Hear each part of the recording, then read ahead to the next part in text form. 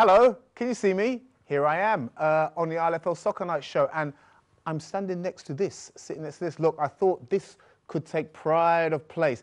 This is the UK BFC Championship Trophy. Uh, the final uh, is going to take place at the Northampton Town uh, Football Club uh, in June. But everything happened yesterday, and we're going to discuss a little bit about what happened. We're going to show you uh, some extended highlights next week because we just didn't have time to put together the whole highlights package for you in time for tonight's show. But I promise we'll do it yet, uh, next week and we'll speak a little bit more about it. But we can talk briefly uh, about the championship itself, Rash. Uh, good tournament. Brilliant tournament. First of all, if I can just say uh, thanks to the host, uh, Shapla League from Birmingham, Habib Bai, Hawk Bai, and all the other volunteers. They did a brilliant job. Uh, thanks to all the 16 teams who participated, a lot of teams from Newcastle, Sheffield, York, Bradford, Leeds, etc. A lot of travelling. Uh, and obviously, it was a brilliant day, brilliant tournament, no issues, no problems. Everyone got along each other, and there was some good football. And you know, I, I enjoyed the day itself, obviously mm. for other reasons. But yeah. I think it was a brilliant day, organised, well organised. The pitches were brilliant, and no issues. And that's what we need to see. And I think it was a brilliant uh, uh day altogether. It, it, was indeed. Uh, and thanks to everybody uh, down at the pavilion at Moor Lane in Birmingham. Like we said, uh, good facility, good pitches. We had no problems uh, yesterday with anything. And the weather, it tried but couldn't spoil the day at, at all. We had good weather uh, and some good football was played. What I'm going to do is I'm just going to show you on screen the groups uh, the results, and we're going to run through it quite quickly and maybe pick out one or two um, uh, highlighted games uh, and teams uh, if we can. So here we are uh, on the screen for you now. This was Group A, uh, and the teams that took part in that group were West End Tigers, Spartak Luton, Bromley, and the Lascelles Strikers. You can see goals were scored in most of that group there. for me, the two teams that got getting through there, Luton Spartak Luton and the Lascelles strikers were deserved, although uh, I have to say, Rush, uh, the London teams look strong, and but Bromley in particular, uh, good team, but couldn't find a win at all. I think that I know the key reason why. I think, uh, from what I understand, is a few of the players let them down. Uh, uh, dropped out in the last minute, and a few players dropped out on a Friday night, so they had to make shift with the, with the team. But at the end of the day, they didn't lose. They drew all three games. Yeah, but it uh, wasn't enough. But it wasn't enough because in some groups, you know, it was it was enough. and some groups, it wasn't. It's just luck of the days, really. But I think when you go to a competition like this, you need to be prepared. You need to have a full strength side, and I think that's what the drawback was. But at least they didn't lose any games. They can hold the hill held high. Hold your heads high, uh, Bromley. Here's Group B's. Uh, results for you. Uh, Cambridge Sporting, as opposed to Sporting Cambridge, Cambridge Sporting, Westwood, Jubadol, Bradford, and Newark took part in that group. Uh, Newark bringing a lot of uh, youngsters uh, and doing really, really well, picking up seven points out of a possible nine in that group, uh, and a good, strong young team going up from they, London. They've always had young players. It's just a matter of once they get to that stage, on, once they're 16 plus, is continuing. So I'm not surprised, uh, and they've been quite successful in the recent years. So they were one of the one of the favorites. So justifiable, they topped the group.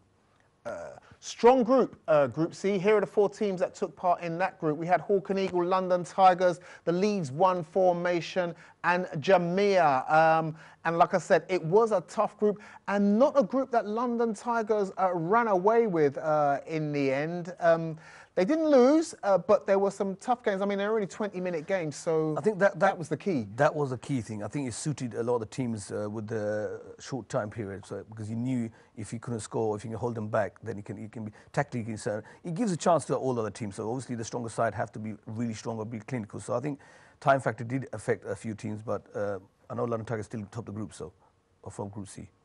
Uh, group D, uh, as was said uh, earlier by Rash, uh, here's how it was possible to draw three games and go through, uh, which Bromley couldn't do. In Group D, the four teams that took part were Beaumont, Unity, MK, the Bengal Tigers, and a team from Northants. Northants United took part, and like I said, like I said, Rash, uh, Beaumont, as you can see, drawing three games there against Unity, against Northants as well, and a nil-nil against the Bengal Tigers. Was it a tough group?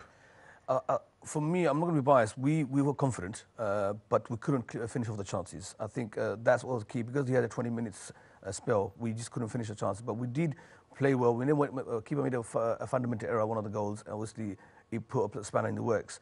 But I think in the group stages, with the 20 minutes, strikers need to be clinical, and they weren't. And that obviously made things awkward or uh, uh, difficult for all the teams in all the groups, to be honest.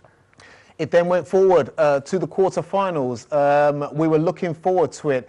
Uh, London Tigers uh, were up against uh, Beaumont. Uh, the Lozelle Strikers were up against Jubadol Bradford. Newark were playing Spartak Luton. And Northants United were up against the team from Hawk and Eagle. Here are the results on the screen for you right now. This is how the quarterfinals ended up. Uh, Tigers went out uh, on a penalty shootout. I don't think I've heard myself say that at all. I think they always seem to win their penalty shootout, Tigers. Uh, but they went out four goals to three uh, against Beaumont. The Lozelle's strikers beat Bradford by a goal to nil. Newark beating Spartak Luton by two goals to one. Luton will not be happy with themselves. They really fancied themselves making the semi-finals. And Hawk and Eagle maybe surprised themselves by beating Northants United. But let's start with the Beaumont performance. That that was a brilliant match to watch. Uh, it was end to end, but uh, uh, again, without being biased, I think we dominated. We had more, more more chances. Surprisingly, Tigers were more more holding back, and we we unsettled them. I think they couldn't come to our half we had a lot of chances, but it was a brilliant match. And I think key things for our moment was because we rotated a lot of the players in the group stages, we were still fresh, there were no injuries, we had energy, and being there night before helped. Because in, in the, we, we, were there the night before, the whole squad was there, mm. and the squad was strong, uh, and we gave 100%. And obviously, in the penalties, Schumann made some brilliant saves. I think he made two really good saves, which obviously clinched us and put us in a uh, semi-final. But I, have got to mention Hawk and Eagle surprise. Mm. Brand new team, first time going to tournament, Absolutely. no expectation and to actually go to the semi-final, have massive, massive well done, and congratulations to uh, Camrose and Hawk Eagle for getting to that because no one actually saw them coming, and they actually produced. And Northern was a decent side. Credit to Hawk Eagle for getting there. But I think sorry. No, I was only going to say they did surprise themselves, and um, but when you get to the semi-finals, as you heard me yeah. say earlier, you, you can smell it. You can almost smell it. So, but they were up against a very good. And, and do you think maybe youth and legs That's, maybe that played the key, key in punch. the semi-final? I think yeah, they gave everything in the quarter-final, and they didn't have uh, many younger players as compared to Newark. Newark still had the energy, still had the legs, and that showed. And obviously, it was a matter of, uh, in the second half they came with the goals and, and to overtook them. Uh, even the Luton game was very good. I'm going to say credit to Luton. They were a good side as well. I think they were unfortunate uh, they were one in up with Newark, but they lost 2-1. But Hawk Eagle, I think if they had a bit more youth or a couple more legs or fresher, or if they rotated, I'm not sure how, how many players played all the games. But Newark obviously dominated uh, and went through, wasn't a surprise. But credit to them for getting the semi-final itself is a massive achievement. Absolutely. And um, here's where I have to pick out, uh, for, for, me personally, uh, my team at the tournament. Unfortunately, uh, I couldn't get around to see uh, many games uh, at all because I, I was a part of a group of three officials who were officiating in Group A. and for me personally, the standout team were the Lozelle Strikers. They a fantastic bunch of guys who played with a lot of heart and a lot of spirit as a team.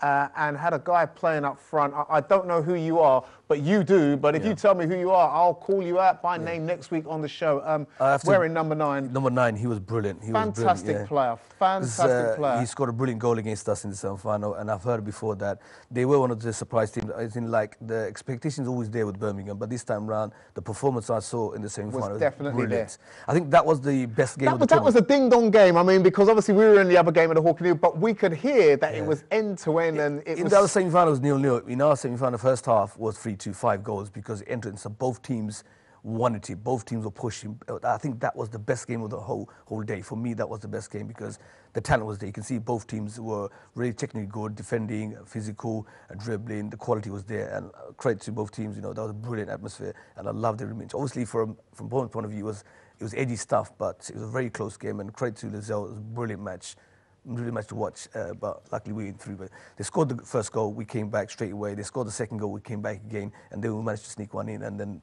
second half, we of contain, contained them, and you know managed to get our foot in the final. Like we said, um, fantastic tournament. Uh, well done to all teams who came from. Team from Newcastle who came all the way down to take part. The boys from Leeds who came down as well and came to mix it with everyone as well. Guys came from London, Milton Keynes, Northants, and the host Birmingham. Your, your team uh, were uh, credible, credible opponents uh, for everyone there. Um, you didn't make it. Um, like I said, uh, for me, I saw some of the goals uh, of the day, but I only saw uh, one group. But I mean, the, for me, the pick was the two goals that your your boys scored. Uh, the free kicks from 25 yards out, two dead balls, two fantastic free kicks. Uh, played really, really well. We're going to highlight more about that in next week's show, where we'll be talking more about the final that will be taking place on the 2nd of June, like we said, at the Northampton FC st- Stadium. It's a Sixfields Stadium up there in Northampton. It will be a 3 o'clock kickoff on the 2nd of June. Beaumont are there and they will be playing Newark. And as I think uh, was predicted on this show by Rashid himself, it's going to be an all London final. Uh, but I certainly will be up there to watch that because it's going to be a real tough game. It will be a tough game. Both teams uh, know each other, both got a history, uh, both teams got a lot of young players and uh, technical players. So I'm looking forward to it. On the day, it's just a matter of obviously who gives the 100% and performs well. But it's not an easy game. It's not going to be an easy game. Um, we're going to talk about another tournament that's taking place uh, this Sunday as part of the Unity Cups uh, tournaments. We already had the Super Cup take place two weeks ago at Hackney Marshes. Here are the groups for the Legends Cup uh, that are going to be taking place uh, this Sunday. Uh, you can see they, the Group A games and the times that they're uh, kicking off. Hawk and Eagle playing the Aston Rangers, uh, another Birmingham side coming down. Hey, maybe there's something in the water up there in the Midlands. Uh, RASA Bury Park Saracens joining those other two teams in Group A. There are the Group B games. The London Tigers will be there to try and keep hold of a, a trophy that they are currently champions of. Oh. Uh, Shagor Reunited, Shanali Otif, and uh, Revive Legends. Correct me, Rash. Silet's uh, the Silet Legends are the That's holders. That's right, it is Silet. The yes. Tigers won it the year before. The year before. Silet, so sorry for forgetting about you. How could I do that? Uh, group C, uh, smaller group because there are less teams uh, taking part in those groups C and D, but they include uh, the Beaumont Masters, Luton and West End, and Oldham taking part. And I hear that Oldham have quite a decent side coming down. And into Group D, there it is. Select are there and they'll be taking on the Riverside Vets who will now be wanting to elevate their seven-a-side status uh, and championship form uh, into 11-a-side form, if you like, along with the MK Galacticos, our friends from Milton Keynes, coming down to take part in that as well. ILFL Legends Cup taking place at Hackney Marshes. As always, uh, be there early, stay late, and let's hope that we can see some good football. We've been lucky the last two weeks to see some good football uh, in the UK BFC and in the Super Cup that happened the week before. I'm not going to ask you for any predictions uh, in that one, Rash. Um, the other thing that we need to talk about now, just very quickly, there were two games that took place uh, yesterday. It was the ILFL uh, Challenge Cup. I'm just trying to find the games for you. There they are. The ILFL Challenge Cup semi-finals that took place. Uh, look at that. Uh, Redcoat and Crusaders. I'm sure as a contest it was closer than it looked, but Crusaders know how to score goals, and they managed to put six past Redco uh, against their consolation that happened there. Uh, and a key game, Walthamstow Red Star beating Arsenal by two goals to nil. We thought it was going to be close. We knew that a good Arsenal team would put up a good fight, but maybe Red Star they want something out of the season after missing out on promotion and the second division championship. They will want something out of the season. They were 2 0 winners. That will be the game, the game on paper that we spoke about. The Walthamstow Red Star game against Crusaders will take place this Sunday the 1st of May. Uh, the venue will be the Hackney Marshes show pitch. It will be a 2 o'clock kickoff. So these things will be running side by side alongside uh, with the Legends Cup. We'll have highlights of everything that happens in the Legends Cup. We'll have highlights of the Challenge Cup final. We'll also have our highlights of the UK BFC that happened yesterday as well. So a packed show to come uh, next Monday. And on that note, I will have to say a packed show tonight is coming to an end. So once again, thank you to our guests from Weavers, the Weavers Vets team that came in this evening to speak about uh, their team and their expectations uh, for VL7, which is coming up. Good luck to you guys who are taking part in the Legends Cup this weekend, and also to the two teams who will be taking part in the Challenge Cup final. Hope to have one of you uh, on the show to talk about it on the following Monday. But for now, we're out of time. Thanks to Rashid. Thanks to all the guys behind the screen who are making it possible. And as always, thanks to you for watching the ILFL Soccer Night Show. We'll be back next Monday. So until then, it's good night.